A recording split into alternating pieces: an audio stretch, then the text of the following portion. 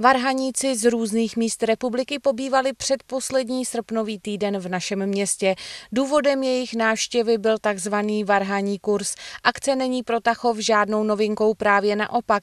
Varhaníci se sem při této příležitosti sjíždějí vždy o prázdninách už bezmála 10 let. Tyto kurzy jsou určené pro varhaníky, samouky, kteří nemají možnost eh, vzdělávat se ve hře na varhany, buď z časových důvodů, anebo už jsou starší, takže na základních uměleckých školách už je nevezmou, takže tady mají příležitost se něco naučit.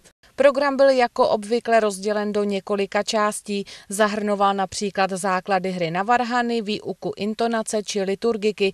Nechyběla hudební teorie. V tomto případě byla výuka zaměřena hlavně na jednu z jejich disciplín. Základy harmonie. Především základy harmonie, aby varhaník byl schopen sednout k nástroji a doprovodit písničku.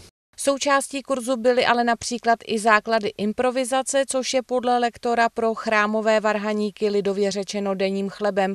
Dá se ale právě improvizace vůbec naučit? Spousta lidí si myslí, že tomu tak není, že opravdu eh, slyší nějakého dobrého improvizátora, říkají si, to je dar od Pána Boha, eh, ale není tomu tak. Opravdu spousta věcí i v oboru improvizace se naučit dá.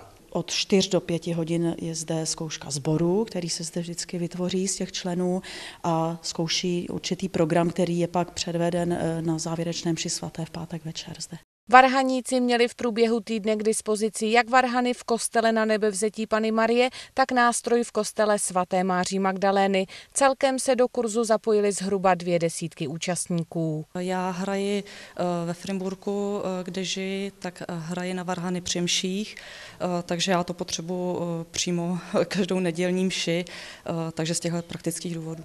Chodím paní učitelce vokatý na klavír a přesto jsem se stal k varhanám. Tady ten tachovský kurz je specifický i tím, že ta eh, skupina lidí, která se tady sejde, tak nejen, nejen to, že spojuje ta láska k hudbě, ale i navzájem opravdu vytvoří, jak se říká, skvělou partu lidí, eh, ze kterými kromě té výuky potom večer se třeba jde do hospody nebo opíkají se buřty a je to opravdu i, i funguje to na této přátelské bázi a to jsem velmi rád.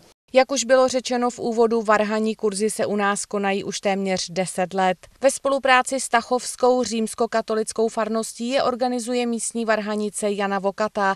Letos poprvé převzalo nad akcí záštitu také plzeňské biskupství.